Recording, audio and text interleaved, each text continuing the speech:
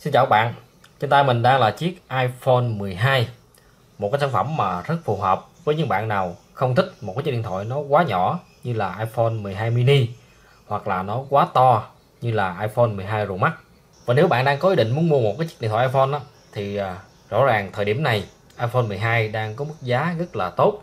Cụ thể là cái chiếc iPhone 12 của mình nó có dung lượng là 128GB và cái mức giá của nó chỉ khoảng 21 triệu thôi các bạn mình mua tại hệ thống ờ, Viettel Store.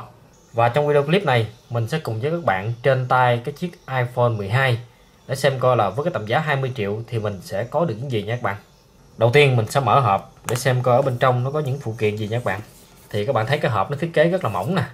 Điều này chứng tỏ là nó sẽ không kèm theo cái củ sạc. Ở đây, mình có một cái miếng siêu mình đã gỡ ra rồi. Tiếp đó thì mình sẽ có sách hướng dẫn sử dụng nè que chọc sim nè, và một cái à, sticker hình quả táo cắn dở nè, và một cái sợi cáp Type C to Lightning. Và khi các bạn mua máy tại hệ thống Viettel Store thì các bạn được hỗ trợ giảm giá 25% khi mà mình mua cái củ sạc nhanh 20W chính hãng của Apple. Và cái chiếc iPhone 12 của mình, nó có cái màu xanh lá và dung lượng bộ nhớ trong của nó là 128GB cái phiên bản 64GB thì nó rẻ hơn khoảng tầm 1 triệu thôi. Do đó nếu mà các bạn ờ, mua thì các bạn nên quan tâm tới phiên bản 128GB để nó tiện lợi về sau hơn. Về cái tổng quan thiết kế á, thì cái chiếc iPhone 12 nó được thiết kế vuông vắn hơn so với cái thế hệ iPhone 11 các bạn thấy không? Nó thiết kế nhìn nó có nét giống như là cái chiếc iPhone 4 vậy. Những cái đường ờ, thiết kế của nó vuông vắn nam tính. Và ở bên cạnh phải thì mình sẽ có một cái nút nguồn. Và hai cái đường cắt anten đây. Lý do là cái khung của nó là khung kim loại ở đây mình cũng có một cái đường à, cắt anten đó nè. Rồi ở bên cạnh trái á, thì mình cũng có một cái đường cắt anten và một cái nút gạt để bật cái chế độ im lặng hoặc là chế độ thông thường. Nút tăng giảm âm lượng một cái khay sim một cái đường cắt anten ở đây. Và ở phần dưới á, thì mình sẽ có một cái cổng lightning nè một cái lo ngoài nè. Ở phần này thì mình thấy nó cũng giống lo nhưng mà tuy nhiên mình nghe âm thanh thì không thấy nó phát lo từ đây mà nó chỉ phát lo từ đây. Và ở đây thôi bạn ở đây có một cái ờ, lo phụ nữa nè. Cái hệ thống ờ, lo của iPhone 12 là lo kép. Về cái trải nghiệm cầm nắm á, thì cái chiếc iPhone 12 nó nhẹ hơn so với 12 Pro Max. Và cái cảm giác cầm nó cũng thoải mái hơn. Tuy nhiên thì do thiết kế vuông vắn nè các bạn cầm mà không có ốp lưng á, thì nó cảm giác nó vẫn hơi cấn tay nha các bạn tuy nhiên, bù lại thì do cái trọng lượng của nó nhẹ, thành ra các bạn cầm nó không có cảm giác mỏi tay. Nhất là khi các bạn mà xem phim vào ban đêm á, các bạn ờ, cầm tư thế này nè, thì cái 12 Pro mắt nó cho cảm giác rất là mỏi tay khi mà các bạn cầm lâu. iPhone 12 cũng được trang bị một cái công nghệ chống bụi bẩn và chống nước theo cái tiêu chuẩn IP68 và thêm một lý do nữa để mà các bạn nên sở hữu iPhone 12 thay vì mua iPhone 11 đó chính là iPhone 12 nó được trang bị con chip xử lý mới nhất của Apple đó là con A14 Bionic. Nói về cái chất lượng hiển thị hình ảnh đó, thì rõ ràng iPhone 12 có những cái điểm vượt trội hơn so với các đối thủ. Đó là nó được trang bị một cái màn hình với cái tấm nền là Super Retina XDR OLED và nó hỗ trợ cái công nghệ HDR10 nè cùng với đó là cái công nghệ hiển thị Dolby Vision nè. Cái độ sáng của nó lên đến 1200 nit luôn. Nói chung là về cái chất lượng hiển thị hình ảnh trên cái chiếc iPhone 12 thì không có gì phải bàn cãi. Bên cạnh đó thì bộ họ cũng tối ưu hóa cái phần tay thỏ này nè, để đặt cái cảm biến ờ, nhận diện gương mặt, nhìn cho nó gọn hơn và nó có phần nó đẹp hơn so với cái thế hệ iPhone 11 và cái màn hình này nó có kích thước là 6.1 inch. Độ phân giải của nó là 1170 nhưng cho 2532 pixel.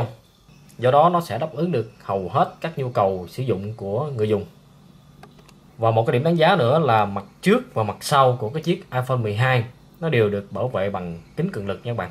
Nói về camera sau á, thì iPhone 12 được trang bị một cái cụm gồm có hai camera. Trong đó camera chính có độ phân giải là 12 megapixel và camera góc siêu rộng cũng là 12 megapixel luôn.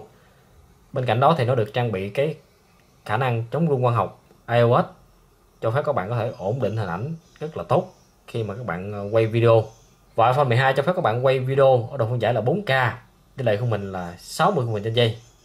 Và camera selfie của nó cũng là camera kép với camera chính có độ phân giải là 12 megapixel. Về cái chất lượng ảnh chụp thì à, iPhone 12 cho cái chất lượng ảnh rất là tốt.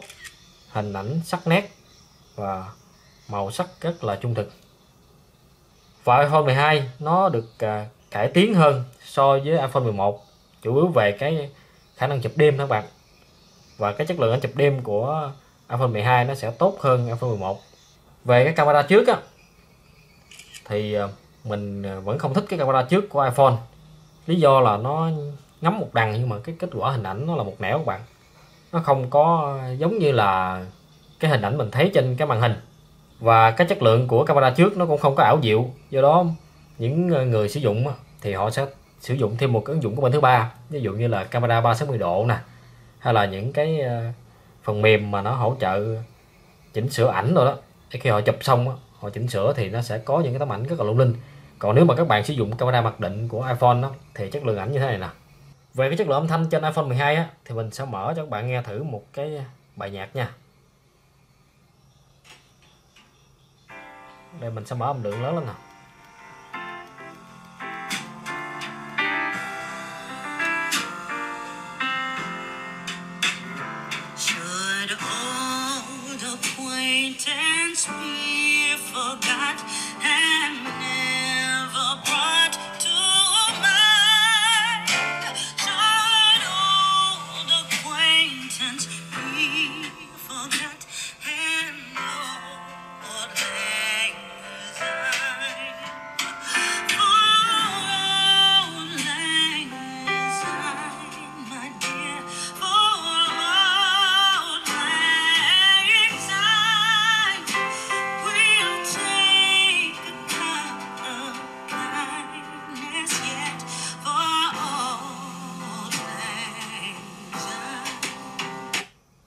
chất lượng âm thanh của iPhone 12 rất là tuyệt vời đúng không các bạn?